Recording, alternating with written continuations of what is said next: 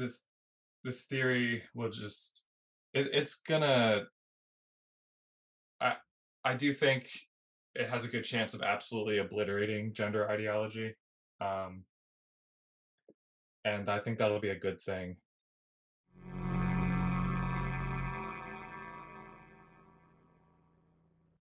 Hello, everybody, and welcome to another episode of Body Politics. Today, I'm very excited to introduce everyone to my friend and author of the book Auto Heterosexual, Phil Illy, who is a professional transvestite, which is very exciting. Probably one of the only professional transvestites who also has written a massive book on autogynephilia, autoandrophilia, and other autosexual orientations. So, congratulations about that niche that you've that you've colonized. Um, Thank you, Raven. Yeah, it's quite the niche. quite the niche, yes. And um, so, yeah, Owen and I are going to be hosting this conversation um, to dive deep into the two type two type model of transgenderism and try and understand uh, yeah, transgender, transgenderism and all of its other facets and fascinations. So thanks for being here today, Phil. Yeah, thanks for having me. Okay, so I thought we'd start with a little bit about your own journey into this. Like, why was it that you even found yourself researching this topic so deeply in the first place? Um, well, I had wished that I was female for quite some time, but didn't understand the thoughts. So I just tried to push them away.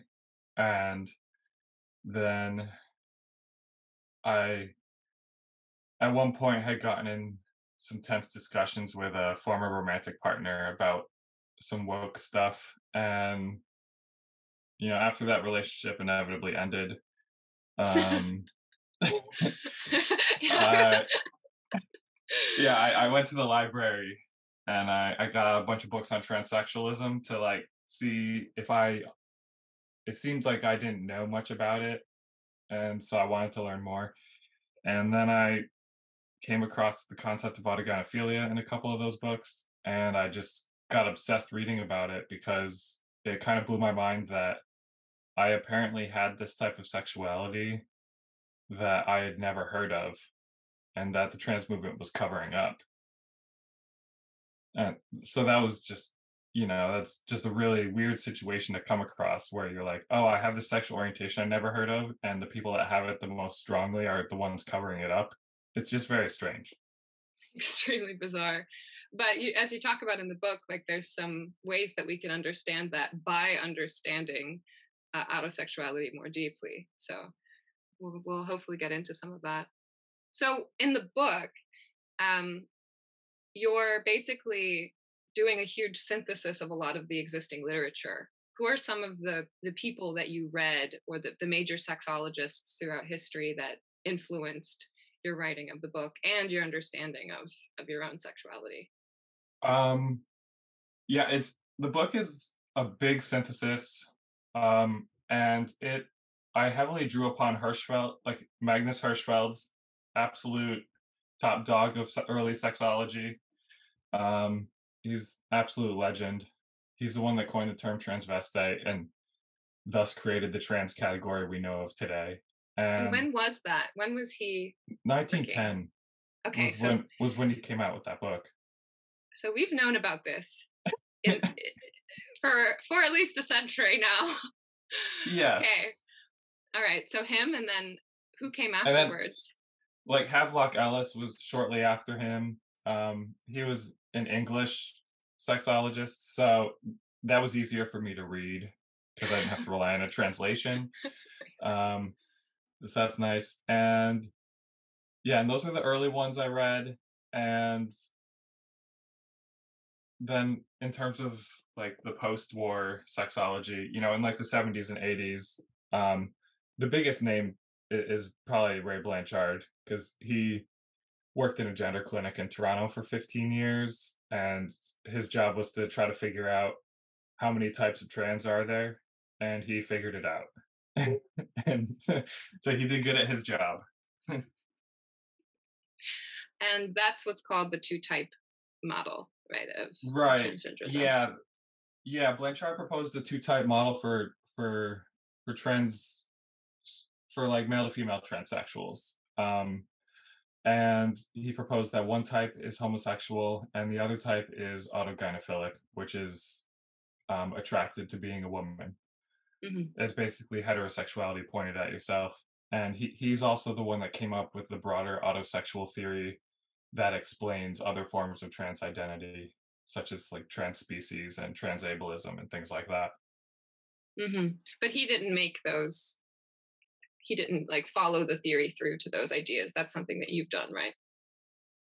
Well, he he's the one that proposed that original the erotic target identity inversion theory yeah. that basically for his theory was just talking about males um, i think it applies to both sexes but his theory about males was that basically you know a certain subset of men will be attracted to being the same type of thing they're attracted to and this can lead to you know age identity disorder you know as he called it back then or um, you know other forms of like dysphoria associated with various attributes. Mm-hmm. and yeah and, and so he he was a pretty big deal. And then after after him there's been sexologists such as michael bailey and kevin Hsu and, and Anne Lawrence that have you know conducted further studies to sort of flesh out the model that blanchard traced out and and it seems that Blanchard's insights are are generally correct as far as I can tell. So that's that's like the best idea that we have so far about how this how to sort out these two different um, expressions of autosexuality uh, is is the homosexual and the autosexual. Do you want? Can you right. talk about some of the differences between those two? Um. So, so homosexual. I guess yeah, homosexual transsexualism is is something that occurs in some masculine lesbians and, and feminine gay men. And they typically show gender nonconformity from a very young age. And um, when they transition, they be, they basically slot into heteronormative society. And so it's it's sort of a big social win and it, it integrates them into society better and it, it let lets them find sexual partners that they're really attracted to you know and so yeah that that's homosexual transsexualism is one type and that one's not related to autosexuality it's it's like a byproduct of the fact that humans are sexually dimorphic and homosexuality is associated with a cross gender shift in psychological traits and, and in rare cases this can result in transsexualism um, yeah, and the basically the auto heterosexual type is either female autoandrophilia, love of self as man, or male autogynephilia, love of self as woman. And that's what I have. And it's just makes you attracted to embodying whatever you find attractive or beautiful in the other sex. Mm-hmm. So this also points out a dimension of sexuality that is interesting, which is that there's there's basically two directions, and it's also, I guess, what erotic target location error implies to me is there's a spatial dimension of sexuality as it's being developed in in in in early childhood i guess. That's kind of when you begin to sort out what is it to be attracted to. So can you kind of talk about what what's going on in those early years and what the erotic target location error is, what it is it like to direct sexual energy outward towards another versus directing it inwardly towards oneself. That whole structure. Yeah, the, yeah, like you said, there's this there's this dimension of sexual orientation that um, is about the direction in which it's oriented, um, whether it's self or other, and this usually recurred, referred to as the location dimension. Mm-hmm. And just because of the locations in the, you know, erotic target location error, it's like in the name.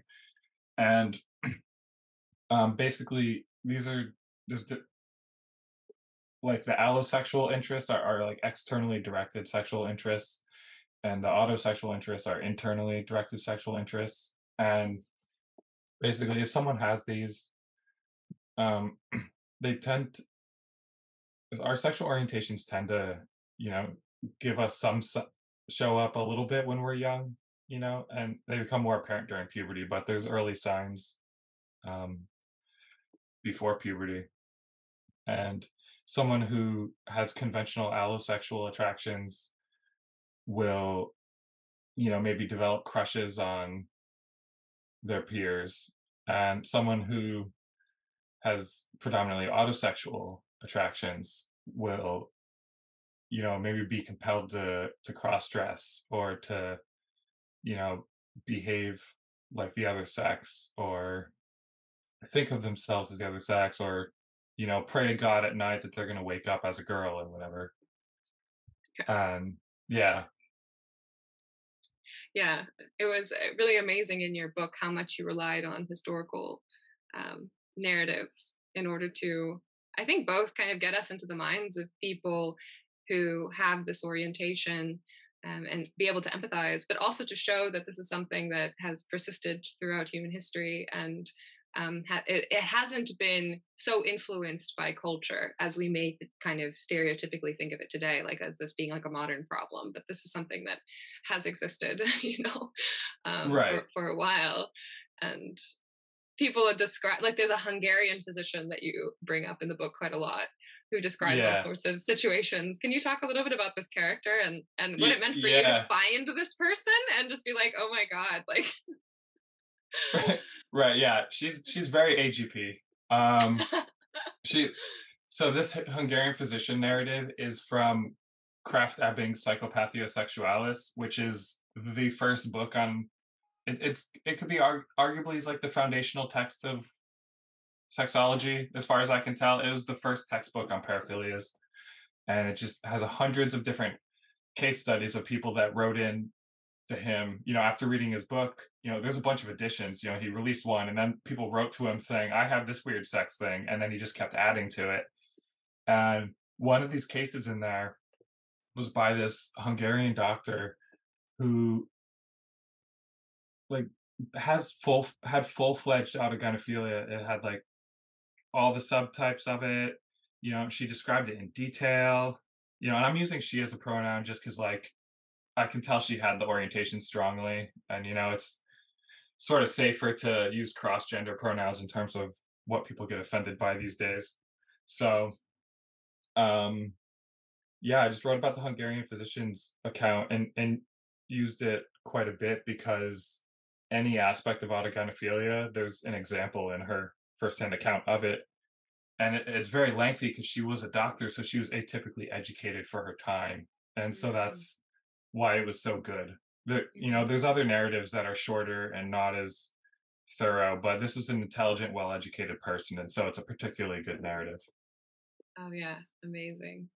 I loved the descriptions of, of of like clothing and you know the like wanting to cover the skin and you know yeah like wanting to wear a mask to cover her beard so like she could recognize herself in the mirror. It's like yes being feminine um yeah which actually brings us into the the different embodiment subtypes right? So yeah. there's all these different dimensions to which like someone might be attracted to embodying their their cross gender self that you bring up in the book. There's anatomic physiologic, sartorial, behavioral, mm. interpersonal. So we have all these dimensions. Can you talk a little yeah. bit about them? And the question I have as well is like, can one kind of dominate like over others, or do they co-arise in most cases? Um, they well, person will tend to have multiple of them. You know, if they mm-hmm. have the orientation. Um, but basically, these subtypes are they tend to line up with things that are different between the sexes. You know, males and females have different bodies and different bodily functions. They tend to behave differently, dress differently, and have different social roles. And, and they also tend to to think differently and have different sorts of feelings about things. And so these differences between sexes show up in the form of the types of embodiment that autoheterosexuals like to have so that they can symbolize you know being the other sex hmm and and yeah um you asked whether a person can have just one type or have multiple and there are cases where sometimes people just have the anatomic type and Mm. so they just want they just really want the body and and the old old investigators such as hirschfeld and havelock ellis they considered these types to be the most strongly predisposed to it and to represent the condition in its most pure form um, when they just wanted to have the body. Hmm and someone like that today would be a transsexual for sure. Hmm um, but yeah generally people have multiple of the subtypes going on at any given time. Hmm So and and like anatomical features would be like the one that you you talk about as being the most prominent is is wanting breasts, right? Like that's like the big that's well the big who wouldn't want breasts I mean, that's the ex- except for the autoandrophiles, who definitely Right, no, very good point. breasts. yeah no yeah yeah They're yeah like, no autogynephiles uh, they want breasts it's like the biggest the thing they want most and i would say autoandrophiles it seems like they typically want a flat chest or to have a dick the mhm, most. Yeah. um and it makes Which sense. These Makes sense. these sort of protrusions are pretty powerful symbolically and whenever you look down you see them it, they're right below your face. So it makes sense that these weigh particularly heavily.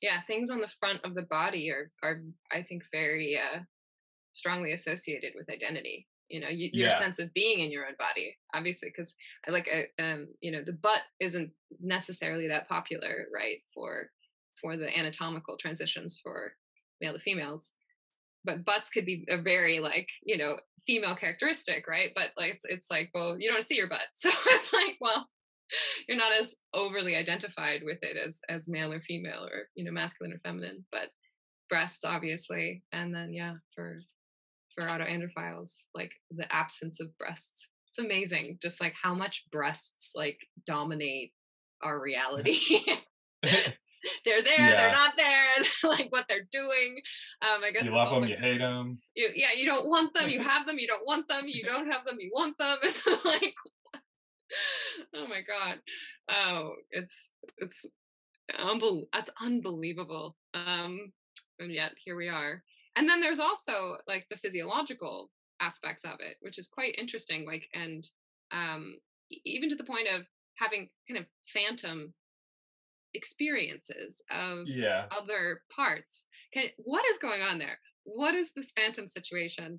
Has anybody done research like more deeply into what is going on in people's minds when when they're experiencing like having a uterus or having a dick? Like what what do you know about this phenomenon?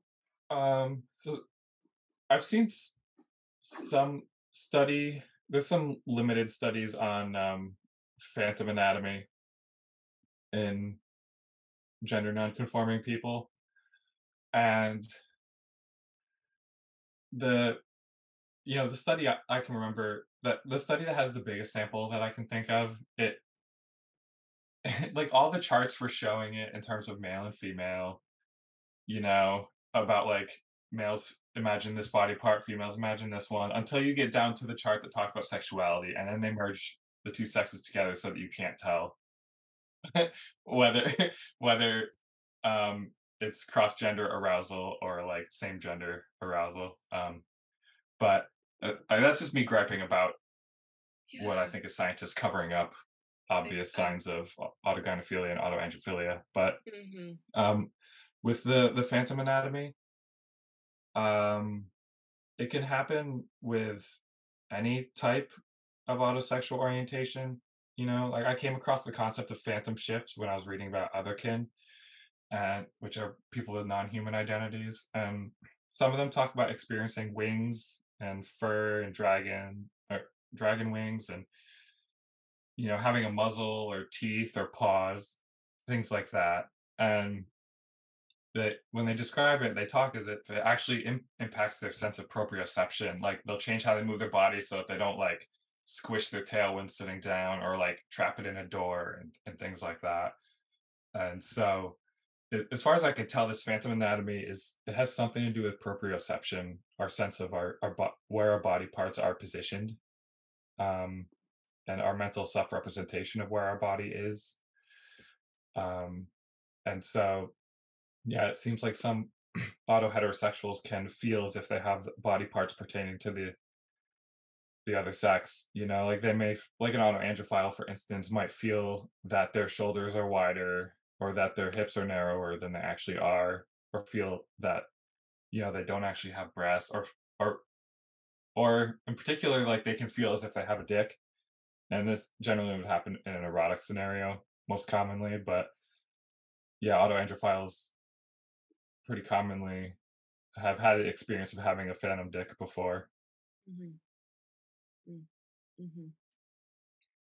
it seems like this aspect of um, auto heterosexuality would be one of the main kind of sources of uh, like suffering like gender dysphoria right? Like or or just feeling alienated from your actual body right? Because you're like having a phantom experience of another organ or like like like literally feeling as if you have the presence of this thing and then you verify with your appearance whether or not you have it and you know that you don't. Is that is that something is that true that conclusion that i have in my head or is I, that hasn't been researched yet to know how much the phantom shifts in particular contribute to um, the body mind incongruence associated with transsexualism but i do think that they contribute to it because they make you feel as if you're supposed to have a different type of body. So yeah, yeah. And that's a lot of what um, kind of transgender people talk about more i guess mythologically today right? They, they're speaking about like feeling as if they should have had another body or feeling as if they do have another body. So that sensation of the, the phantom sensation just from a first person point of view without understanding kind of the bigger more abstract model of how this might arise in someone um, could easily lead to a story like that. Does does that check out for you, or do you think that there's other reasons why we have that story kind of floating around um, the memeplexes of transgenderism? There, I mean, there, the phantom stuff is just one of the contributors to that story.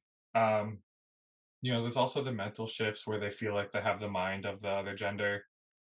Oh, yes. Um, and there's also just if when you have these autosexual orientations, it can be hard to differentiate between liking something and being something. you know, like if if you see a beautiful woman, if you're autogynephilic, it, it can make you can have like sort of sensation of like that should be me mm. or you know or that is me or yeah um i mean i don't personally when i see women i don't think that that is me and that should be me Mm-hmm. It's more of like sometimes it's like, dang, that would be nice to be that. But um mm-hmm. yeah, it's yeah, when you have these these autosexual orientations, it, it can just make it hard to it gives you a sensation of being something. And that can be confusing if it conflicts with, you know, sort of what your physical form is. Mm. Yeah. Yeah, obviously. that makes sense. Um, and I guess it it becomes especially obvious when you look at something like trans species, right? Because you're like, this person thinks that they have a tail. Like suddenly we're looking at we can understand this as an underlying phenomenon here. It's not just something that's about having the gender of another person. There's some deeper thing going on, or the situation with like you know, phantom limbs with amputees, or the inverse of that, which is people who feel as if their arm should be amputated, right? Like there's clearly some sort of thing going on in the human mind in relation to this like proprioception that, that you mentioned. It's mm-hmm. extremely curious. Yeah, and those various types you mentioned, like the transabled people, they typically say that they're sexually attracted to amputees uh, and the trans species people um, I've looked at a lot of community surveys of Therians and otherkin, and the percent of them that report sexual interest in furries and in real animals vastly exceeds what you'd expect in the, the general population. And so an attraction to animals also seems related to trans species identity. Mm-hmm. Mm-hmm. Okay. Um, yeah, that's a that is a curious point to me because it does seem like when you talk about this section in the book that there's some people who seem to to give themselves over completely to this cross gender, cross species, or you know whatever cross spirit inside of them, and then their sexuality can become almost entirely directed towards the self. So while it does seem like there's parallel kind of attraction, if you're very attracted to women, then your attraction to yourself as woman would kind of be equal to that. But that there's also some amount of variation, um, especially once somebody decides to kind of reinforce the pattern of behavior and you know manifestation and identifying as the cross spirit inside of them. Is am i getting that right or? Uh yeah there is everyone has um a different proportion of their sexuality that's externally directed and a proportion that's internally directed. Mm. and it does seem that um when people have these types of trans identity that they often have the internally directed component of their sexuality is stronger and then through repetition um, that internal self becomes more salient and real and, and more strongly tied into their identity and and this all reinforces those behaviors that led to the feelings in the first place. Um and so yeah it, it does seem that um doing the behaviors that that please that inner autosexual self that it tends to strengthen that and reinforce those behavioral pathways mm-hmm. Mm-hmm. it's it's interesting because like your book your book is very feels very materialistic and scientific it's just very grounded right in that way but then there's also something that feels a little bit more mystical to me or something like this this idea of like the cross gender spirit or like this this entity. There's like some sort of like possession or something like an entity of some kind that can kind of like can you can you unpack that more? Like is that is there a way um is that just like a more poetic way of talking about it and there is a more grounded scientific way? Or is it just trying to point at something that's so like intangible as to necessarily evoke this kind of I do talk about it in terms of a spirit be, sometimes, just because it it does seem to be an immaterial thing, like a mental construct. Um, I've seen some other AGPs like refer to it as like the artifact, or like it's yeah, it's it's just this artifact. mental construct. Yeah, I think that's what, what one of them called mean? it. I I think that's referred to like the artificeness of it. This was someone that was trying to repress at the time. I think. Ah, okay. Um, Makes sense. Yeah, it's there's so much tied in with like what your plans are for transition will will impact your strategy and how you think of it. You know, like transvestites have an incentive to not give too much to that cross gender self, and then transsexuals have an incentive to put all the importance in that cross gender self. And so there's this antagon there can be this like conflict between transvestites and transsexuals because of their different levels of commitment to this cross gender spirit. Mm-hmm and also i'm imagining like a lot of internal contradictions and and conflict as well right? Because you have okay so you're going throughout your life and you're experiencing your default gender which is how you kind of identify allow us to kind of ground this this circulating of identities and attractions in your book. So you have your default setting that is supposedly kind of in alignment with whatever you're you're born your sex is, right? Right. And it's then, just like your yeah, your physical form basically. Yeah. Physical form. You have a sex and your gender is in alignment with it. And then at some point, I guess for auto heterosexuals, a lot of this happens during puberty because you're getting all of these sex hormones and your libido increases, right? So that charges your sexuality. So, of course, during that time, you're going to also see your sexual orientation, you know, grow and mature and that's when people often seem to begin to understand that they have a, a form of of transgenderism. Is that correct as well? Yeah, that during during puberty, that cross gender drive ramps up because you know if you're sex, sexually oriented towards being the other sex, you might have some of those feelings before puberty now and then, but then after puberty ramps up, it, that your brain will be searching for whatever fulfills its sexual orientation, and that will be being the other gender. And so, yeah, puberty can be a time of crisis for auto heterosexuals as all of a sudden their body is changing in ways that conflict with this new strong desire to be the other sex and so there's a lot it, it creates inner tension yeah because you you have your default self and I mean I, I bet as well like an identity associated with that and attachments and all sorts of right. you know yeah you spent at least 10 years forming that self at that point. Exactly uh, a name you know all sorts of things. And then you start to have this arousal pathway emerge inside of you that is related to a way that you see yourself across gender across spirit and then there's also seems like an implication that it, it can grow in its intensity like that it can take over like you use this language at some point like it can take over the yeah. whole self yeah, it can take over the self system. Yeah. Okay. All right. So what what is that? what so is that? so like what's happening there as, as yeah. far as I can tell, um there's like this default self that we are just talking about that builds up, you know, and then during and then there's also this cross gender self that is created by the orientation and through reinforcement it gets stronger and and because our sexuality has so much p- power to tell us what matters, like what's important in life and what do we want out of it. Um, this cross gender self can become the one that is in charge of the overall self system at some point. You know, and historically, this would happen to like cross dressers in their 40s or whatever. Um, back when society was more repressive towards gender variance and they tend to stay inside. So it took a little slower to develop.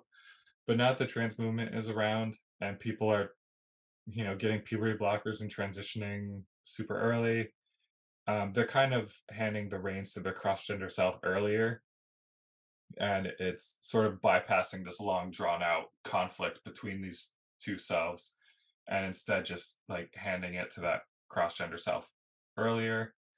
Um, but yeah, basically the this orientation can create another self inside of you and that self can grow to have the strongest sway over your actions and desires and that this can result in transsexualism this sense of two selves is super interesting right that's it reminds me of various things so for example in the um, Tibetan spirituality, they talk about these tulpas, which you can grow if you if you work consciously. You can grow an entity inside of you, or like with occult practices, often you find ways to talk and interact with archetypal entities, spirits, however you want to think of it. Um, I remember a friend of mine once saying to me, "I mean, you seem like you have a a two soul." Uh, personality, I guess, and he was someone again who had done I think he was quite into Mayan shamanism. So there's all these different ways, mythical or poetic ways of framing it. Um, and I always liked one of the ways that Camille Paglia speaks about these androgynous figures often being very artistic. Um, in her work, she says these artistic men often have a very strong feminine side, and artistic women often have a very strong masculine side. And again, to kind of look at my personal phenomenology, it definitely feels like there's always this kind of internal erotic relationship going on between, on the one hand, I'm kind of a man, masculine body, but then there's humongous emotional self that has these dramatic ups and downs and crises, but it can kind of be channeled into music or writing or, or performance, these various things. And I always like the kind of thinking of that that dance and the tension between these two selves is something that can be intensely productive and creative. yeah the relationship between the two selves if if you channel it right it, it can be productive and it, and it doesn't necessarily detract from life quality or anything like that um yeah and you actually mentioned the the second self thing and it reminded me of how the the first long-standing transvestite organization it, it was it was named the society for the second self. Mm. and um yeah that organization is kind of phasing out now that transgenderism has been destigmatized. There's not much need for cross-dressers to like meet in uber secrecy to cross-dress together anymore. Um but maybe they still should. maybe they still should do this. I'm sure what secretly instead of pop- publicly Maybe they can do both. You know, right yeah you know, it's it's yeah. I I mean, this is interesting, right? Because then it also gets back to that distinction between, say, the transvestites and the transsexuals. I think where you've got on the one hand the people who have two selves and will go between them, whether it's drag or whether it's cross dressing, and then there's the people who really want to take this second self and make that the core of their identity and go through often quite drastic medical procedures in order to do that. Yeah, and and there, that is like historically how people separated between like with the gender variant population, they sort of differentiated between here's the ones that just like do the clothing and it's sort of balanced, and then here's the ones that go all the way and they're hardcore. yeah, they're Um, hardcore. yeah, we can all agree that transsexualism is pretty hardcore, It's not saying pretty it's bad, but it's intense. yeah, it's super intense. Yeah, it definitely takes it all the way. Um, or as far as Well- you can go. It's Right, like the ultimate yeah. shapeshifter practice. Like, oh yeah. And I think thinking of it as a type of initiation in the same way, I mean, it's not the same thing. I, well, I don't know, but Raven and I were talking recently about the castrati in the history of the church. Again, these kind of intense, permanent modifications in order to unlock new human capacities. Yeah, it's. I'm glad we're not castrating kids so that they can sing better anymore. but Think of that as moral progress. right, but yeah, I guess now the moral question is: Is it okay to castrate kids because of their gender feelings? You know, um, Yeah. Of course. but Yeah. yeah. Oh, and you actually brought up tulpamancy earlier, and it reminded me of um how um I've started I've started paying attention to the online like dissociative identity disorder scene of like the people with multiple personalities and like the systems and the plurals, you know. And I noticed that they have a lot of the mental traits that auto heterosexuals have in terms of like ADHD and autism and things like that. And I was wondering if somehow these people that are plural, if their multiple selves are being caused by autosexuality. Um, this is something that I haven't investigated deeply yet. I'm just I'm just observing now the various online communities, how they talk to each other, and looking at overlaps in membership between subreddits and such. But I wouldn't be surprised if also the the people that identify as plural, if if their various selves are ultimately an outgrowth of autosexuality.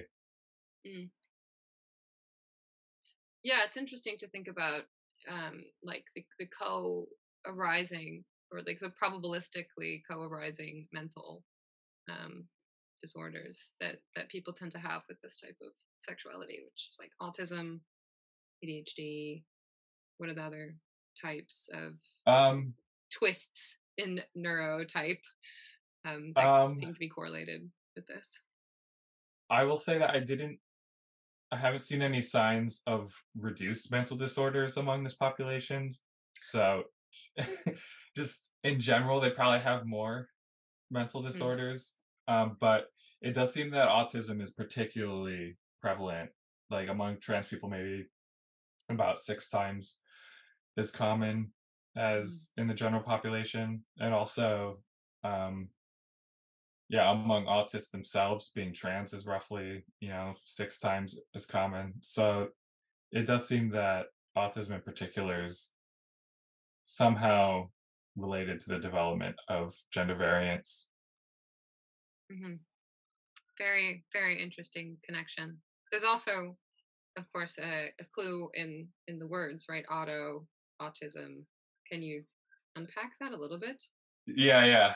The, both the words start with the Greek root from autos, which is self, mm-hmm. and so autism. I think it got that name originally because it just sort of it reflects the general turn inward that is seen among autists. They have this like inner world that's going on that's very real to them, and um, with autosexual orientations, it's about attraction to this woman or man or any type of entity inside of you.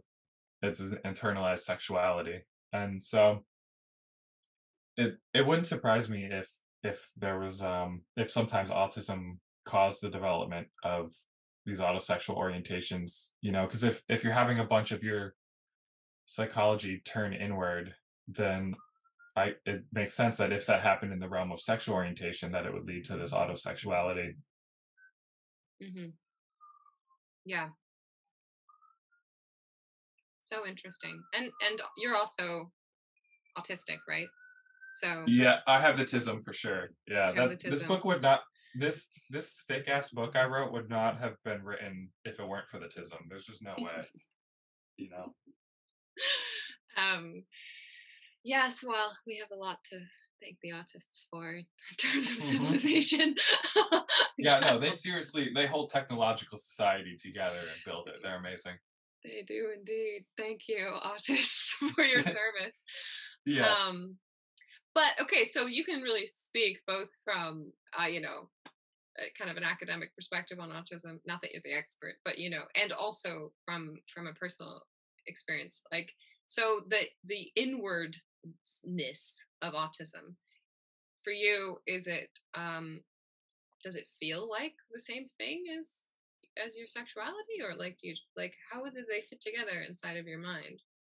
Um or your experience i never really directly connected them before doing all this research and noticing that there seems to be a connection.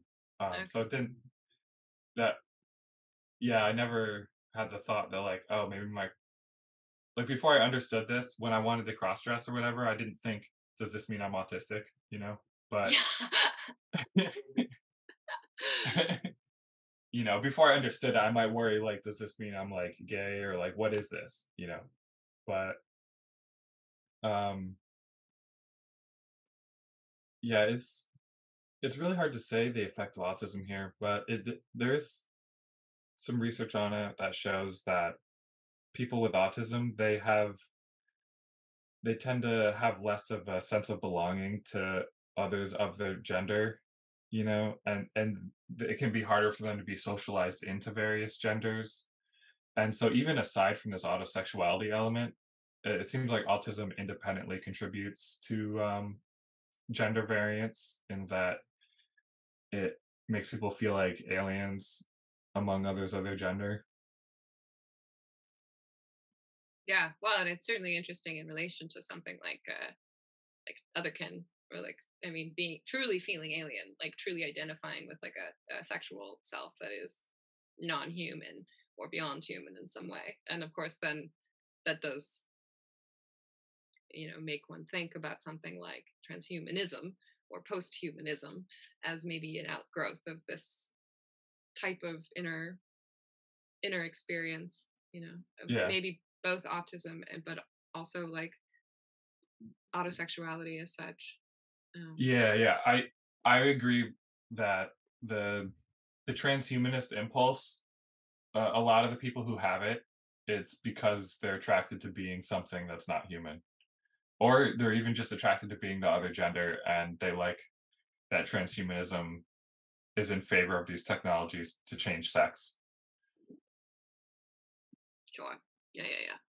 Yeah and i mean it's interesting too because like what this made me think of is you can if you're interested in if you're attracted to being something other than human or something other than the gender that you already have sometimes you can devalue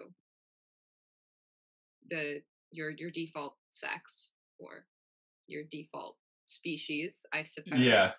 Um and and then kind of elevate or lift up you know the other um and what you advocate in the book is is or at least maybe I'm reading into this, maybe you don't, but like you know something a little bit more accepting of of both of both sides. What would you say about that phenomenon, or how people yeah, I think handle it's that?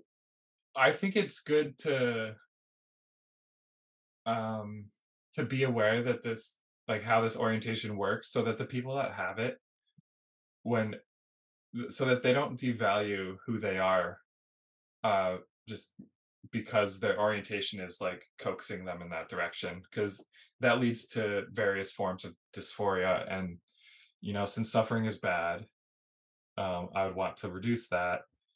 And so yeah i do generally think that um, with these autosexual orientations it tends to elevate the worth of the thing that you're attracted to being and inversely like it it devalues the worth of whatever your default form is because it's not that other thing that you really want to be.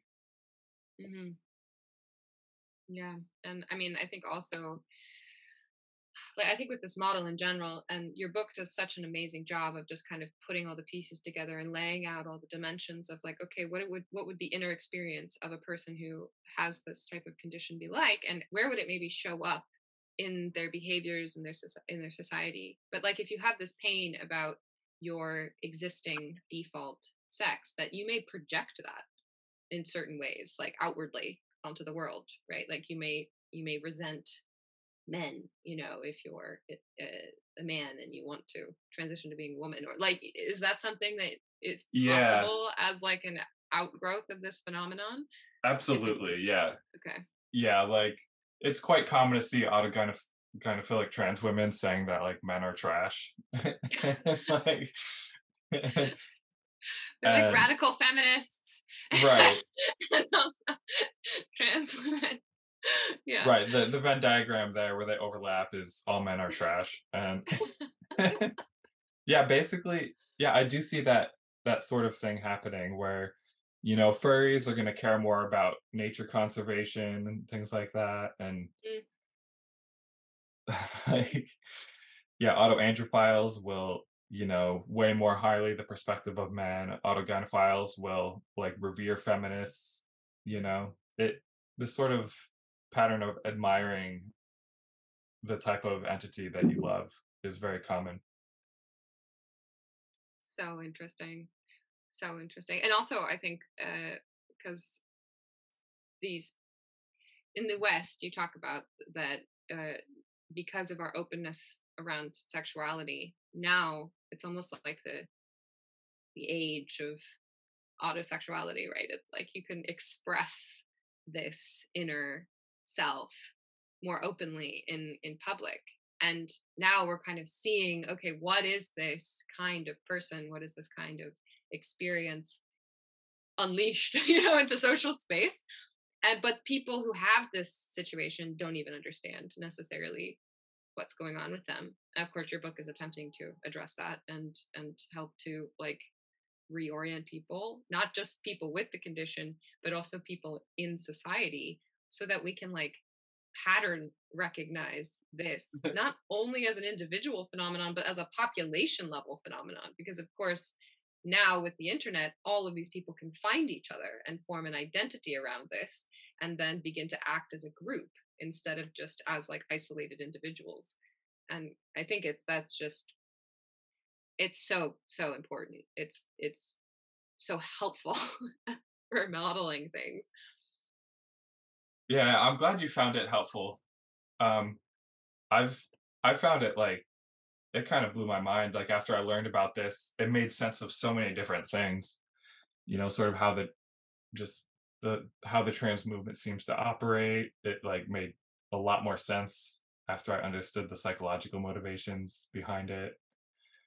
And it yeah i think it is important for not only people with the orientation but also like say their friends and loved ones like for them to understand each other better it would help if they understood the psychology and so i'm i'm hoping that um this can help um people that understand their romantic partners better their friends um you know just it depends on the situation, but basically, like you said, it helps to have a to be able to pattern match in, in an accurate way and, and model society accurately.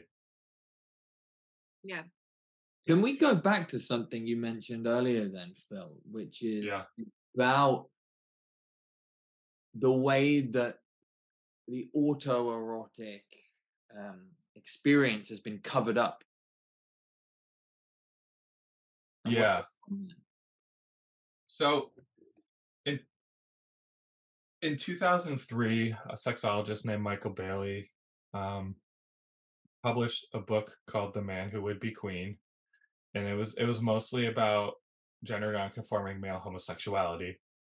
But the last third of the book talked about the two type transgender model, and it had a chapter on autogynephilia in it. And this motivated a group of privileged trans women like this these are like um transsexuals that have tenure and very esteemed positions in academia. They they, they work together to try to get destroy michael bailey's reputation to whatever degree they could achieve. And this sort of this was a message that if you talk about autogynephilia we will destroy you. And academics heard that message and they have very carefully avoided talking about it for the most part. Um, it's now 20 years later after this first major cancellation happened. Um, and academics are still scared to talk about it. Um, and this cover up is so intense that there are not Wikipedia pages for autogynephilia and autoandrophilia. There are no pages with that name. There, um, the standards of care put out by the World Professional Association of Transgender Health, the ones that doctors rely on. This this document, which has many chapters, including an entire chapter devoted to eunuchs, there is not a single mention of autogynephilia or autoandrophilia in the entire thing. Like the most common cause of gender dysphoria is literally not mentioned in the manual given to clinicians who are tasked with treating gender dysphoria. And so the clinicians don't understand the cause of the condition they're trying to treat. And they don't even understand that there's two fundamentally different types of gender patient that they'll come across. So why? Is it a kind of political position that these original transgender or transsexual academics thought that if transsexuality is framed as a sexual orientation as opposed to being something essential about people, then it won't be taken seriously and won't achieve its political goals? Or is there something else going on, do you think? Part of it is definitely a worry about the political consequences, you know, about people not taking their identity seriously and about discrimination and about not having access to medical care. Like the, these concerns are definitely part of the pushback. Um, I think though that the major thing that leads to the pushback is that it's it sharply conflicts with the a beloved self-image. You know, like if you've devoted your life to living as this cross-gender persona at, because you love it so much, then hearing about this theory that explains it in a way that says you're not that thing, you just want to be that thing, like they it's a really harsh um injury to their self-image and so they just they really don't like it Mm, it's like well, it goes back to what we were saying about the hmm, the two personalities and the dance and how some people seem to really firmly identify with one. And I suppose if you really firmly identify with one to the detriment to the other, and it's the one that you weren't born in the body with, then precisely like you said, a theory like this, if you're sensitive, might seem to undermine it.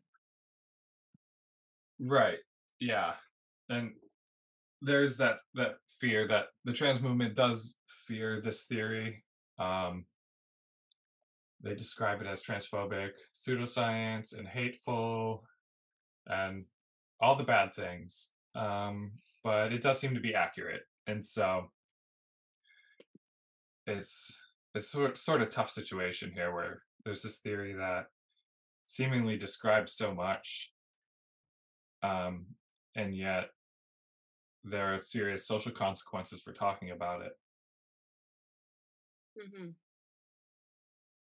yeah it's, Yeah. it's hard. How, like how are we going to get this implemented? Like i'm trying to implement it.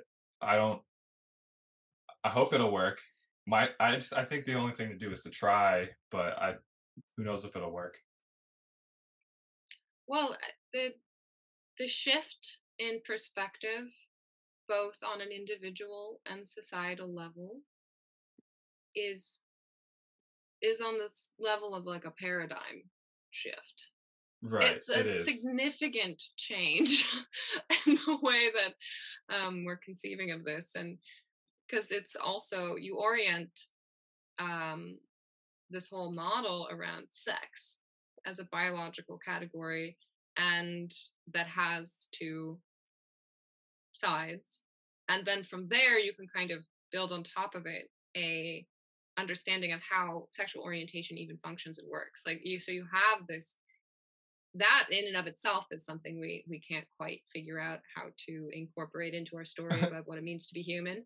Um Yeah. so um and of course it's it's not that that isn't something that could i mean who knows? Maybe we'll make third gametes in the future using artificial gene editing technology or whatever but as far as we're doing things right now today like the, these are the two sexes that have evolved.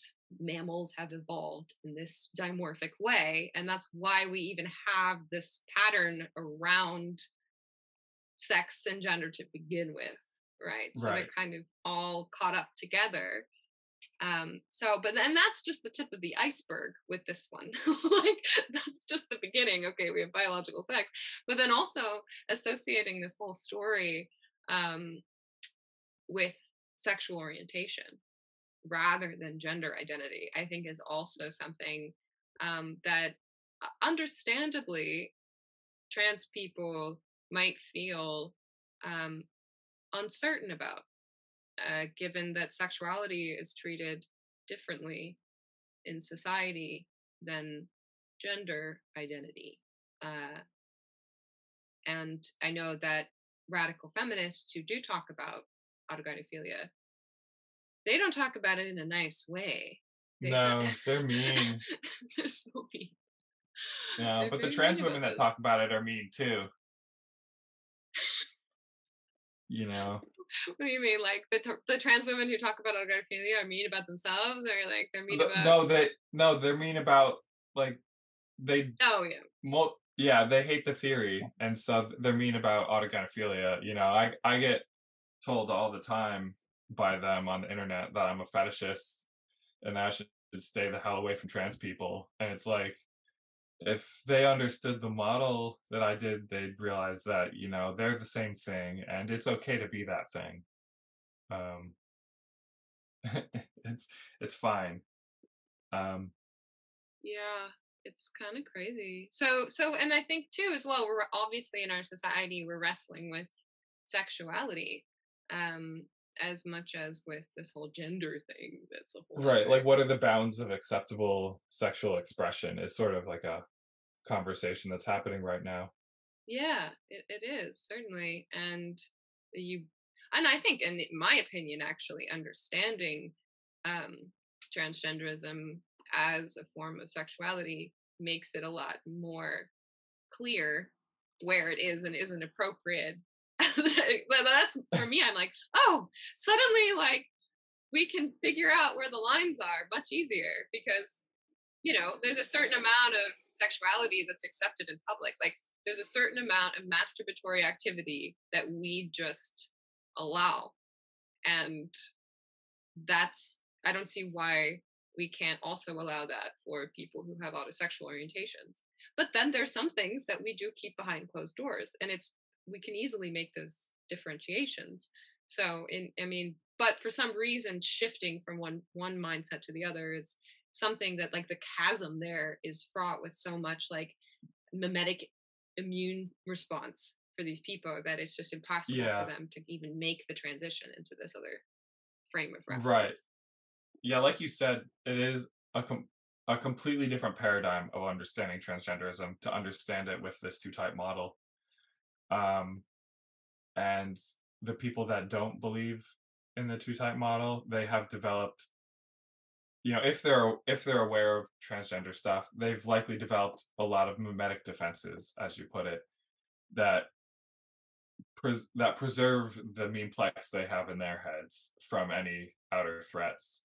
And i yeah the, their defenses are quite strong um quite touchy like it's yeah they, they're very strong defenses in, as far as i can tell and so it's I I don't think it'll be I'm not going to be trying to convince the people that are already convinced against the theory. I'm just going to have to convince the people that aren't already propagandized either way. Yeah. And that'll be easy cuz most people are not propagandized against this theory because it's it's been covered up. So most people haven't even heard of it. Yeah. That's a good point. And it does. Yeah. I remember when Raven explained it to me and I kind of had a light bulb and I was like, oh, yeah, that makes sense. That solves the whole problem of having these three things sex, gender, and sexual orientation, and apparently them being three totally independent axes that right. don't ever overlap, never shall they meet. But then yeah, you can see that gender and sexual orientation or gender expression and sexual orientation may have something to do with each other after all. Right. It's yeah, once you hear the theory, it's like, huh, yeah, it does kind of seem obvious that sexuality, gender, and sex would all be connected in some way. And this theory explains the ways in which they're connected. Pretty easily as well if you can just think about it without having yeah, have you, have you been like have you been spreading the good word? Oh, I've been spreading the good word. I'm I'm truly your number one evangelist. telling everyone. Um, yeah, no, I, I think I, I, mean I think it's a great theory, and um, it's yeah, it explains a lot. And I also something that's come up in my kind of discussing this is just thinking about the uh, place of autoeroticism and sexuality in general and whether or not there's an autoerotic dimension that could possibly be turned towards your like a homosexual autoerotic orientation. I, and that's totally speculative like i have no idea i haven't researched it but like that maybe there is a dimension of sexuality that's kind of goes unnoticed with people who are typically heterosexual because it kind of matches what they should be attracted to but with transgenderism, because it's crossed, you end up with just noticing, oh, okay, there's this dimension of sexuality that's about being turned towards the self. Um, so that's been something we've been kind of discussing in our circles is like what what this might mean for like just understanding sexuality in general. And obviously that's an open question in terms of the research, but yeah, and that's definitely the deeper question here. Like when I'm explaining this theory to people, I try to point out that the deeper, more relevant fact here is that it is possible for any sexual orientation that's a, that is attracted to something. There is an autosexual version of it that's about attraction to being that thing, mm-hmm. and that for each types of the each type of autosexual attraction, there's a form of trans identity associated with it. And so basically, yeah, this deeper story that attraction to being itself is the thing that exists. Like that's it, I think it, it makes a lot of sense of, of things. Yeah, and then also just this idea that there's a there's a side of identity inside of ourselves that in a sense is um, maybe pre-sexual or desexual or distinct from our sexual side but then there is like a kind of erotic persona and that this persona might have its own thoughts feelings fantasies imaginations like that that this could be an aspect of um, our inner experience that this might be then then of course with the way that things are organized on the internet people magnetize towards each other because they have certain mindsets or fantasies that are shared and so then you have population level dynamics emerging in our society now and it would be very interesting to know if some of why this is happening is based on like the erotic self, the erotic experience of the self, um, rather than whatever other like levels of experience we could we're having inside of our identities that are not sexual. And I don't know if there's any research on that either, but that's a fact. That's like an interesting question for me. It's like the like a sliding scale of like how much society is a reflection of everyone's kind of erotic inner world being exposed versus this other these other dimensions of self. I don't know if that made any sense. um, yeah, no, it's it's an interesting question of how much of society is ultimately an outgrowth of sexuality and like how much of it is just the sublimation of sexuality. Um yeah, no, it definitely since learning more about sexual orientation, it's clear to me that it impacts most people's everyday thoughts, just how they think of various categories of people and interact with various categories of people. It it's just intrinsic to the way they think. And so it alters how they think and thus on the large scale alters how society, you know, is formed and how it functions. Do you think that the phantom experiences and the mind shift experiences that transgender people are having are actually accurate reflections of what it is like to be the opposite sex or gender or or thing do you think that those things are accurately being experienced or um it depends on how accurate their conception of that thing is because it's these phantoms are based on the person who's experiencing it is based on their conception of what that thing is you know? Um like if it's an autogynephile that's that's having say breasts as phantom anatomy if they're if they for some reason had like a huge breast fetish i'd imagine their phantom breast might be huge you know whereas yes right. Yeah like we can think of that woodshop teacher lady from canada that had the yeah. Absolute legend. Um yeah. So it's like yeah no with these autosexual orientations it's a it's based it comes you have like this mental conception of the thing and what it's like and then that gets imposed on yourself.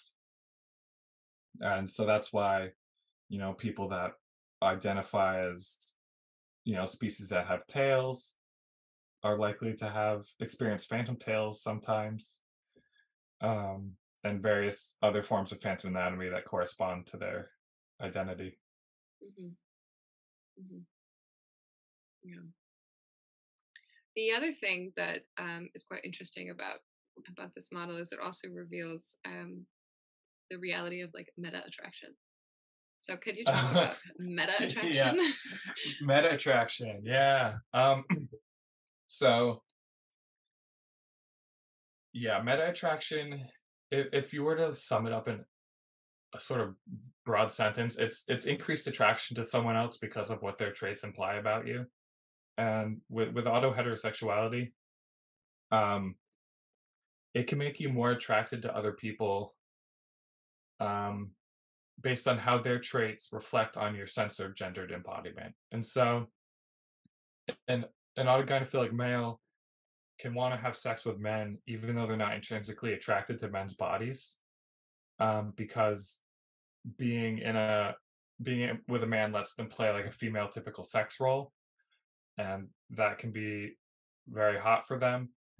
And it's as far as I could tell, I think meta attraction it's responsible for a significant proportion of bisexuality. Um, a much higher among males, it's a higher proportion than it is among females in terms of the bisexual bisexuals of each sex. Um, but yeah, meta like meta androphilia makes a man like an autogynephilic male want to you know, say like perform fellatio or experience like receptive anal intercourse or have men like catcall them and things like that. Um, and and metagynephilia, like meta attraction in an auto autoandrophilic female, will um, make them want to play like a assertive masculine sex role with a woman so that they can you know be sort of the be a man with a woman and yeah that's basically what meta attraction is is just increased attraction to others because of um how their traits reflect upon you. I love it. Yeah ha- have you have you witnessed it before? Have you seen men that have meta attraction i think it describes me perfectly. Yeah?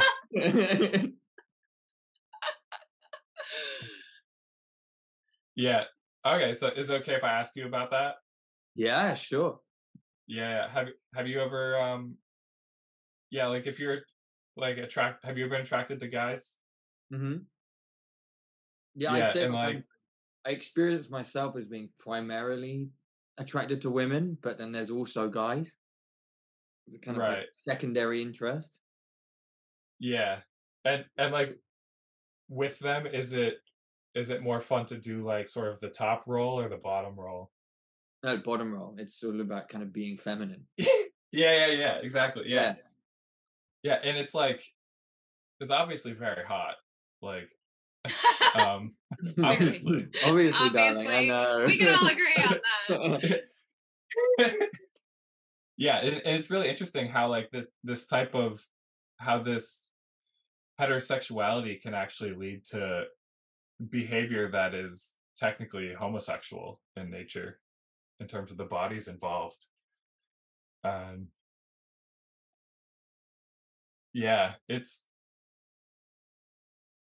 yeah it's, it's oh and when you heard about like meta attraction did it make sense to you well I've, I've just heard that word now about two minutes ago but Oh, okay. I figured from, Raven you like, explaining it there, it was- before. I was kind of listening to it and going, "Yeah, no, no, that makes that actually makes complete sense." right. Yeah. Yeah. Yeah. And it's it's funny because it's like I do. I've got quite an andro. I always describe myself androgynous, but I'm like I'm quite happy being in a male body, and calling myself a man. Um, but I also really like playing with my feminine. right. And I see you have long hair too, which is Totally. whenever I'm trying to scope out AGPs out there, that's always sus. I'm like, oh, that guy's got long hair. You know? Yeah, yeah, yeah, totally. Yeah. Yeah. No, so again, so your work, I mean, I'm getting it secondhand through Raven, but it's been helpful for me to frame my own personal experience as well. cool yeah and yeah and i always try to i try to always make clear that like it's fine to have this sexuality um and just that it'll be cool if more people understand it because then it'll really help with matchmaking i think Oh my god, yeah, of course. When Right, you talk about this like feminine like there's like a feminized, you know, man can be attractive to, you know, like like can you explain that situation where gender bending is something that becomes attractive in this context? um yeah like what about it? Like so so what you've said is like if you're if you're agp you would be attracted you could be attracted to a, a woman right? So you're still like expressing heterosexuality but a Yeah. woman who's more masculinized like maybe she's you know more dominant or she has short hair or like she's oh yeah i've definitely increased i experienced increased attraction to those women for sure. Yeah. Rides a Yeah, motorcycle. Right and yeah this this meta attraction it's it's not nec- it's not always for like someone of the same sex. It can also be for someone of the other sex just that has cr- a cross gender shift in traits you know like like me for instance i could be attracted to women that are masculine and have short hair and like muscles and things like that. Um like that they become more attractive than the really feminine ones and it's it's because of meta attraction that this happens. And yeah i just think it'd be really great if people understood this because it's so sad when i see stories about people getting married and having kids and then like the husband decides to transition and like just the complete like destruction of the that family structure that they they built. It's it's kind of like a tragedy i think for the wife a lot of the time and it'd just be really great if people when they just start dating, if they could just say, "Hey, I have this aspect of my sexuality. It's not going to go away. If that's a deal breaker for you, that's fine. But like, it's important that you know this." It's it's interesting what you just said, Phil, as well, because I experience the same thing as you with the quite strong attraction to masculinized women. Yeah. But then there's also an interesting nuance in this that's quite fun to tease out to do with I don't know if I can say it better than where the attraction is processed. So to explain what I mean, like if I'm looking at porn, I love really feminine women. But if it's like in person, if it's embodied, then I like the masculine presence in the woman. Whereas if it's just happening visually, then a kind of like butchy woman, no, it doesn't really turn me on. It has to be physical. It has to be something I kind of feel in my body rather than something I see with the eye. Right. Well, yeah, if it's porn, like you're not involved. But if it's if it's in real life, then it can implicitly reflect upon you. You know, Mm. so that makes sense. Yeah, I think with the porn, it's much more about kind of just enjoying a kind of imaginary union with that intensely feminine body in an autoerotic way. Yeah. That's that's a common thing for like when autogynephilic males will look at porn, they'll just imagine themselves in the woman's position. And it, it, it it's not like they're intentionally thinking, "Oh, I'm going to do that." It just it just happens. That's what they imagine and they like it the most. Mhm. Yeah, I just as we're having this conversation, I just can't shake the thought that this uh, this paradigm also disrupts the whole structure of like L B G T Q L W Yeah. X Y Z because Uh-huh. basically what you're saying is like well okay first of all we've already talked like bisexuality then become i mean this this thing that's like a kind of a symptom of like multiple different directions of sexual orientation so as a category it's kind of like a bit useless But there's Um, a lot of different kinds of bisexuality. exactly Yeah. and and then i guess the one of the things you talk about in the, the book is like there's basically two types of queer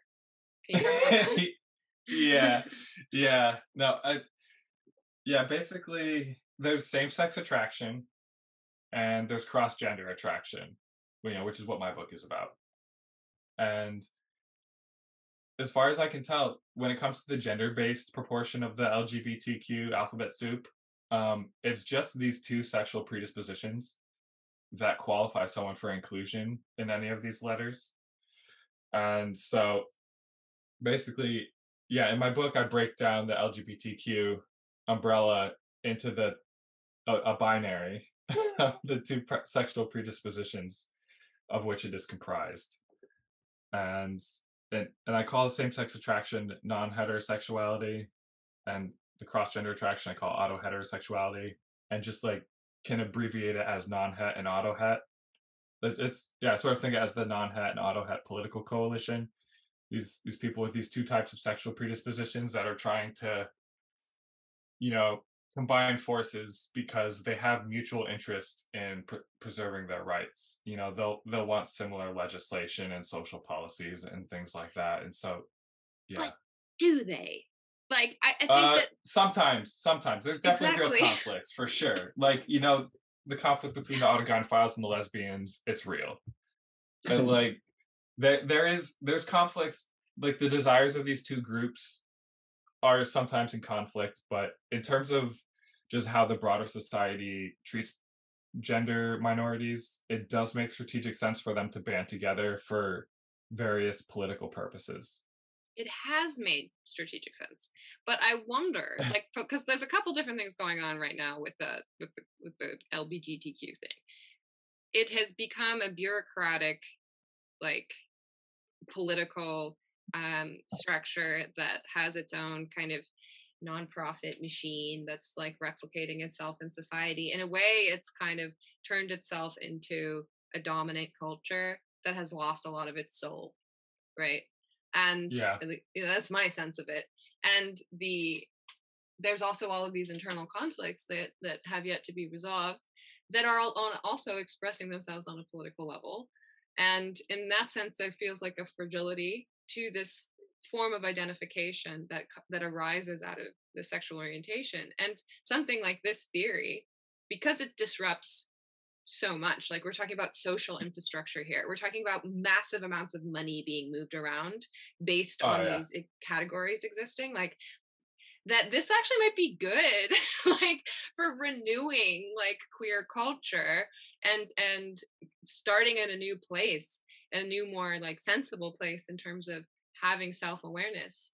And so people can actually come together and know who they are and know who the other people around them are and know how to differentiate themselves. And um i think it could i, th- I mean i ex- it's going to start underground obviously because this is extremely subversive. This is like really Yeah. threatening situation.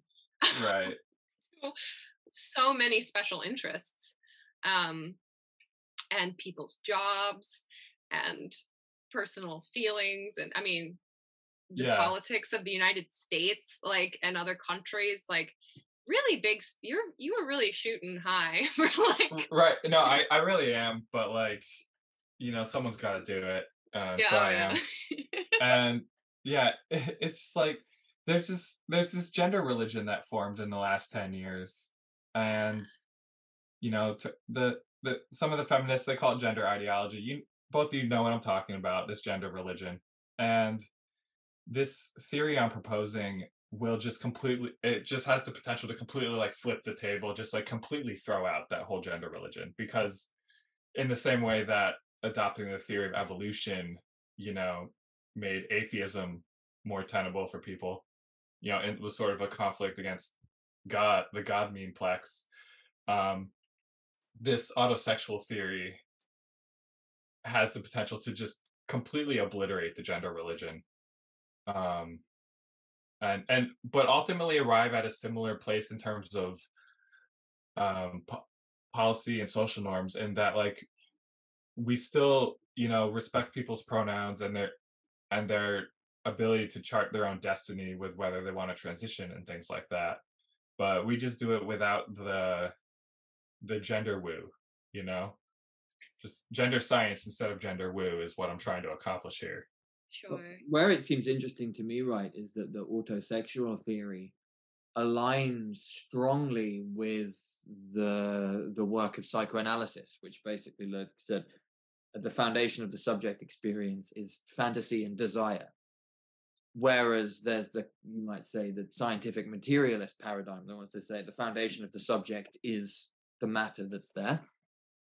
And that's a tension that has continued in academic discourse and it still seems I, I think part of the issue with what you're calling the the gender religion is that they're actually despite some of the insights coming out of the work for example of freud and his later students actually trying to force a scientific reductionist mindset to things so kind of saying there is an essence to sex and that's kind of where the conservative or the very liberal side kind of overlap is that the conservative side obviously just say there's men and there's women foundations done. But you could say the the gender religion side they're kind of saying well if you're born in a man's body but you're a woman you're clearly a woman. And you everyone has to treat you you're a woman full stop. Anyone who challenges you on that is evil. Because it's an essence. It's an absolute Right. essence. And but there's no you can complete obviously it's completely based on contradiction. And you can dis you can fucking pull it apart but it doesn't matter because it's an essence that's pure whereas the um your theory as i said by placing fantasy structure first, by placing desire first, it allows you to switch the way you're thinking about the whole conversation. Yeah, no, it definitely it com- it completely upends the typical way that discourse about this is had, and in a way that I notice ends up being far more reasonable. Um, and yeah, and I'm a fan of logic and reason, so I I've generally liked what I've seen in terms of the discourse I see among self-aware autogynephiles and androphiles. They're they're pretty reasonable about um the sort of policy they want to implement you know like that they'll they'll they'll strongly defend people's right to transition still of course but then maybe be like hey maybe don't put you know males and female sports you know like there's there's you know or don't put males in female jails like there, there's situations like that which are just kind of like obviously ludicrous once you um understand once you're outside of the gender religion and, and seeing things more from the like autosexual theory perspective there's just some policies that don't make sense. Totally. And, and it's precisely those examples where it's the essentialist theory that's causing all of the issues. Whereas people are saying, well, if someone has transitioned to being a woman, they are a woman, they were always a woman. And so they should absolutely be able to compete against biological women. Right. Yeah. And yeah, I guess my theory is still it's essentialist, but not in the way of saying like what a like not in terms of saying what a man or a woman is. It's more essentialist in in terms of saying um this is why people feel that they're men or women. Yeah. The found fantasy is the foundation. Yeah, the, des- the the desire, the great wish to be the thing. Yeah. Yeah, the other thing that is interesting as well is um, I'm going to butcher this word, I think, but gynandromorphophilia. Nailed it. Yeah. Oh, yeah. Yeah, gynandromorphophilia. Usually we call it GAMP. Um, Gamp. Because that There's another album. That's Raven's second solo album. Gamp. yeah. Oh, Gamp. God. What was the first one? Also true. Like, number one know. stalker was number one, and then Gynandro, I've forgotten it already, but that's number two. gynandromorphophilia. Yeah. It And- that's just attraction to trans women or basically attraction to women with dicks is is that's the aesthetic. And Yeah. Typically trans women call men with this attraction they call them chasers, which is short for tranny chaser, but you know, tranny's faux pas now, so people just say chaser. Um but yeah, a lot of men have this attraction. I'd say about 5% seem to have it pretty strongly. Um and it's also highly correlated with autogynephilia. Like if if I hear of a guy that's attract like particularly attracted to trans women, I will assume that he's also autogynephilic unless I hear otherwise. Um, particularly if they identify as bisexual. Um, if there's a bisexual GAMP man, um, that there's a very good chance that they're autogynephilic because um, there's there's just a high correlation between, you know, wanting to be a trans woman and being attracted to them. Yeah, and I mean, I think that this is once again okay in the like LBGT, you know, this is another Yeah. form of sexual attraction, right? That's like or a trans person particularly, and you know that could be its own identity. Right, like but- is that a third type of propensity, right? Because it's like it has the same sex attraction element of like they literally are the same sex, yeah, but it's in terms of what is attracting the person it's it's a heterosexual attraction and so it kind of and it's and it's highly associated with this auto heterosexuality and so yeah gamp kind of blurs the lines between the the two types of queer that i was talking about earlier. It kind of has elements of both of them.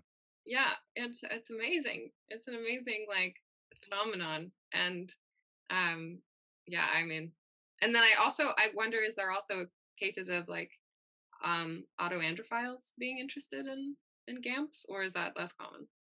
um yeah there's i've anecdotally seen that. There hasn't been much research on autoandrophiles yet um and i know at least one um gender variant female who is an androgynaph this this can be the flip of gamp this is androgynamdromor androgynomorphophilia it's just flipping the andro and gyne but it's basically attraction to to trans men like attraction to like a man with a vulva. Like some autoandrophilic females are attracted to that type of person and want to get in a relationship with them Yeah, the matchmaking on this would be like so perfect, right? it'll like clear up so much so people will be like oh i understand my sexual psychology now now i can look for people that fit in with that and also know how to talk to them about their sexuality to see if we're a fit mm-hmm. Yeah, it makes total sense. Uh, have you heard about the transmaxing people? Yeah yeah What do you think about That- these these folks? I mean that that guy that wrote that manifesto. I I mean, I personally think that individual's a bit wacky. Um, Well, but yeah. there there there is something to um.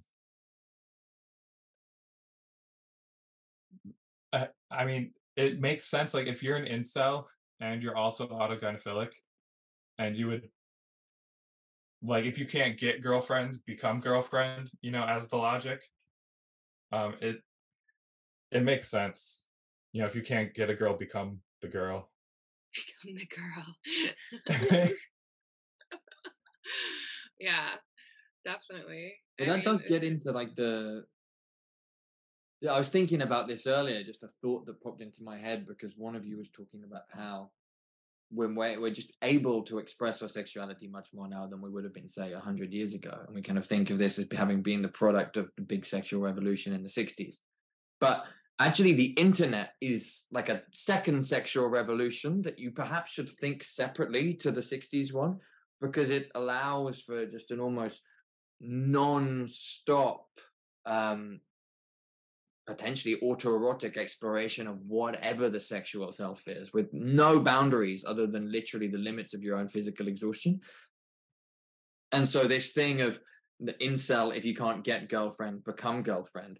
I wonder if that's happening to a lot of people simply like well, there's more of it happening because these latent tendencies that perhaps just wouldn't have been activated in a society where we didn't have the internet can now be gone into, especially if people are spending time alone, can go into Reddit boards. They can start to discover um, the desire to be in the feminine position, for example, if you're a man, and then to go down yeah. that.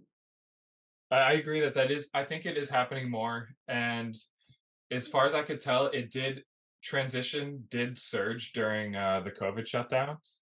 So it does seem that when a bunch of people were forced to be at home alone, they a lot of them decided to transition. Mm. Uh, yeah, and I've also heard of cases of like the trender. Some of the females that were trenders decided to detransition during that time because they're like, oh, there's nobody to show that I'm this gender person. So what's the point? Mm. Um, but yeah, a lot of people transitioned um, once suddenly everyone was at home alone.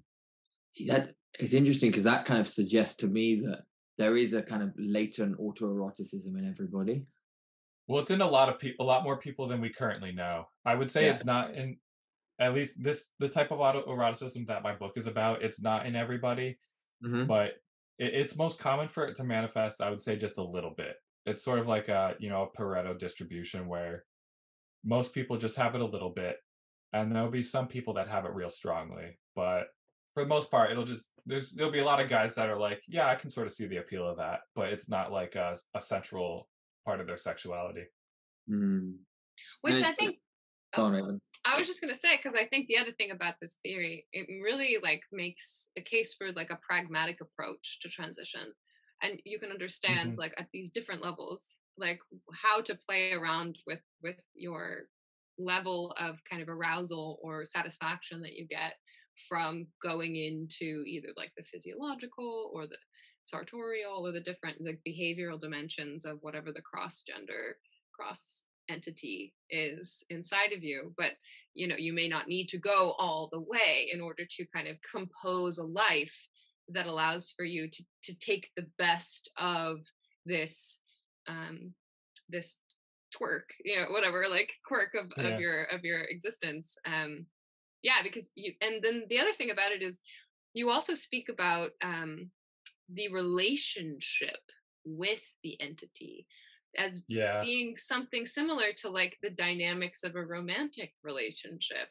um and like your euphoria is going to really come on really hard in the beginning and then things will start to kind of settle down and so there's ways to think about transition um much more strategically than just like pushing the button on accelerating full on like medical transsexualism like yeah, immediately yeah. upon reporting gender dysphoria you know what i mean yeah i'm glad you brought this up because it's like it, it does make it much easier to think through the pragmatism of transition where once you understand that you you're having like someone that just decided to stop repressing is is having new relationship energy with that inner cross gender self right and we it's general when it comes to romance it's kind of conventional wisdom that like hey don't get married in like six months. You know don't buy a house with this person that you've only been dating for one year. You know there's there's there's sort of like a yeah don't make too big of a commitment until you're very sure about it you know until after the honeymoon period is gone. And so that's what's something important about this theory is it can help people realize like you like you should stop like it's good to stop repressing um but then once you do be it be cautious that at first there will be this intense rush this mood boost of new relationship energy but that this will tend to develop into more of a long like more of a companionate deeper love bond over time that that can lead to transsexualism um, but doesn't always do so yeah especially if you also have um, persistent allosexuality where right. you may you know also be served by a bond with another person and also get sexual satisfaction from that it may be that this the autosexual part of you is just a component of your overall sexual experience rather than and relationship experience rather than the entirety of that thing. Or maybe it happens right. later in life you know maybe when you're 50 you're like okay i'm gonna go for the full thing now. What do you think? Yeah. And your wife's like great because i'm gonna masculinize now and then we'll be this like weird like yeah straight Post. with extra steps. Yeah yeah. exactly. Exactly. Yeah. um so yeah i mean i think and then you can also begin to see this as like a life cycle thing just like how you know if you're really thinking about how to live your life well you do have to think about okay what's my future self going to be um thankful for right? And and how do i prepare for that future future state? And how do i take advantage of where i'm at now in my life? And find the things that I want as a young person and the partner that I want, or do I want kids or not? You know, all of those things can kind of be understood over this like life cycle, this potential life cycle of this, right? The expression of this um, sexuality, um, and it's so interesting. Like the thing that that does excite me as well about the, the, the political level of this is like because actually it simplifies the politics is that now it's like okay maybe then queerness if we want to just call it that can go back just to culture right? And and in culture like there's so much variability that can go beyond just like what your rights are you know and the way that cultures end up kind of forcing themselves into political category.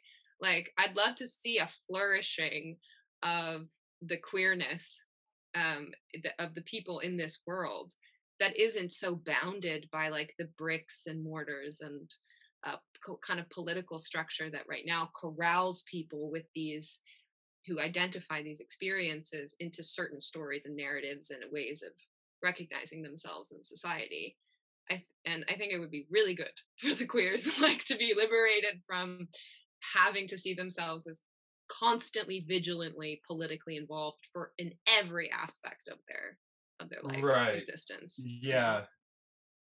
It would be nice if yeah, with with having this alternative model proposed, that it'll give. I'm hoping it'll give queer people more flexibility in how they think about themselves and their role politically because right now they sort of get slotted into like oh you're queer therefore you have to buy into queer theory and critical theory and basically become like uh, in favor of luxury gay space communism you know that that whole platform.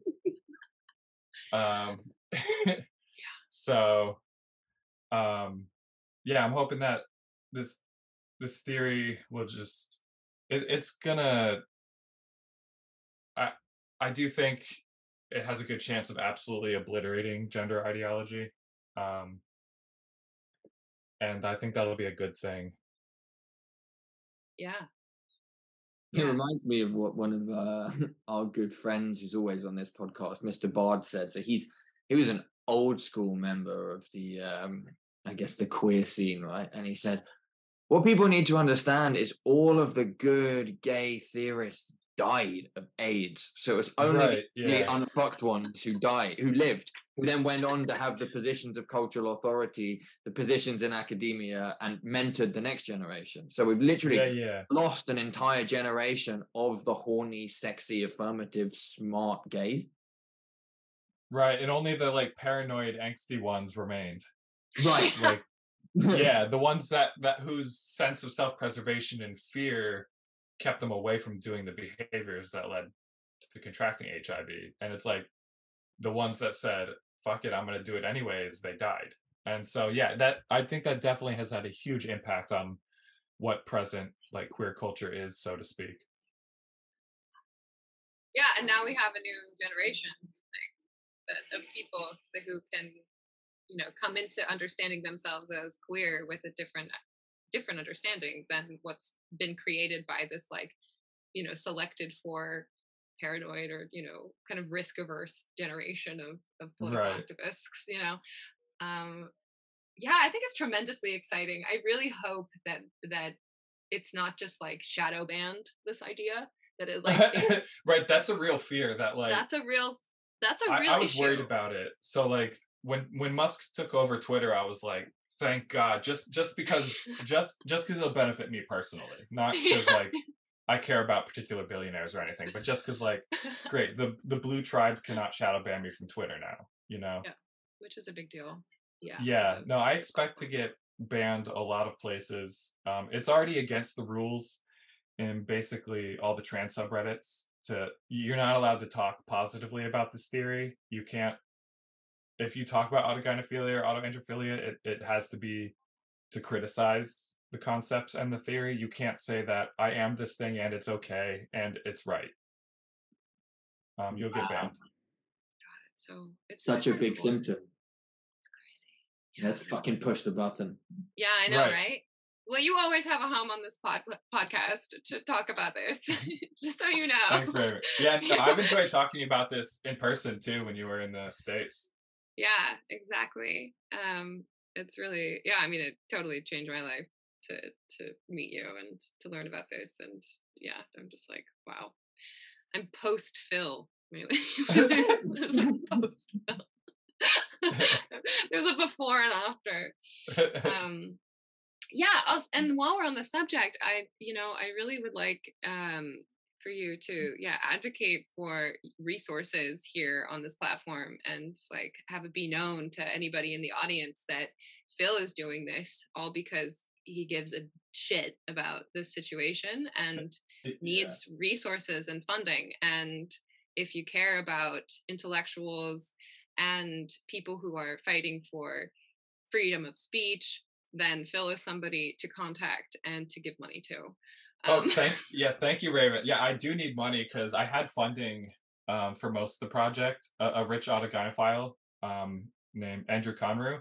Um, he he's he's the founder of Adult Friend Finder, and he funded um, the bulk of the production of the book.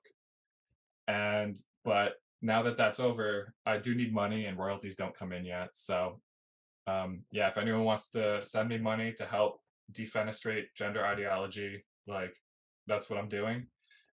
Um, and yeah, I guess it'd be a good point for me to say where people can find me, right? Yeah, let's like, do it. Let's hear about you. Yeah. Um, so the name of the book is Autoheterosexual, Attracted to Being the Other Sex. It is about autoandrophilia, autogynephilia, and the broader autosexual theory of trans identity that includes trans all the other types of trends. They're they're in there. There's a nice chart. It's all explained. Um, and I posted the first 15 chapters already on Twitter. Um, anyone can find me on Twitter at at autogynephilic because my kind had so much shame that that name was still available. Um, after all that time, and so I took it and um, yeah, you can find me on Twitter at, at autogynephilic. I have a pinned post that is a directory that links to the first 15 plus chapters of the book and you can like spread these ideas simply by retweeting the various chapters and various threads it's all organized there and um, i also have a substack which you can find at phililly.substack.com and i've also posted the first chapter there which is a little more of a readable format than twitter um, mm-hmm. but i put stuff on twitter because that's kind of the commons and that's where the memeplex is developed and that's that's the, the battleground of ideas and so i've been making sure that almost the entire book i'm going to leave one chapter out um but i will upload all the other chapters to twitter and yeah and i'll send you um like a paypal link for the show notes or whatever but yeah thank you. yeah people yeah people can find me yeah i do need money and people can find me at you just search my name phil illy um mm-hmm. it's like silly without the s and um i have this book that's um and yeah i think it's very promising in terms of it it having a big impact um it'll just it just needs to reach enough people at first to blow up it needs to trigger some sort of controversy or something yeah um but that you need to then, do a talk on a student campus mm-hmm. right yeah no i missed one a couple weeks ago. There was one i found out after the fact i could have gone downtown and that would have helped a lot but yeah i need something like that. Yeah yeah. Um yeah. we'll talk media yeah, strategy behind closed doors but we we, we yeah. talk about how to get you right yeah. into the public um, eye. But yeah that's uh that's that's the book. Um i'm just trying to to make this orientation understood by people so that they can know why they want to get serious medical interventions and why they feel gender dysphoria i think understanding the why behind it can remove some of the sting of gender dysphoria um, can help you realize that it can be you don't have to take it seriously all the time. You, you know, you can see it as sort of like a brain quirk or miswiring, you know, whenever the bad things are happening. Um, yeah, basically, this is a sexual orientation that people need to know about. And so I'm making it known. Amazing. Thank you so Amen. much. Yeah. Yeah. Thank you both, Owen and Raven, for having me on. Ah, it's been a pleasure to meet you. I hope we get to meet again and cross paths in person one day yeah, I'm definitely down to talk again. And if you're ever in Portland, that's where I live. of course, you're in Portland. Right. We're gonna have yeah. to ship you over here to London at some point. Yeah, we'll see. If I get if I get run out of Portland, maybe. Yeah. yeah. yeah. Well, amazing. Thank thank you so much, and thanks to everybody who's been listening. Make sure to go and follow Phil on various platforms, and hopefully, we'll have you back on the podcast.